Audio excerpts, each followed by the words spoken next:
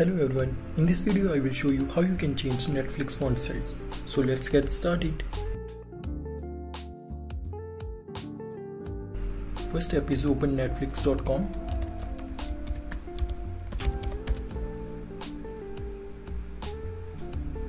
Now go to your profile icon and click on account. Now select your profile and click on subtitle appearance and click on change. Now as you can see text size is medium so we can change it to large or even small. So let's stick with small.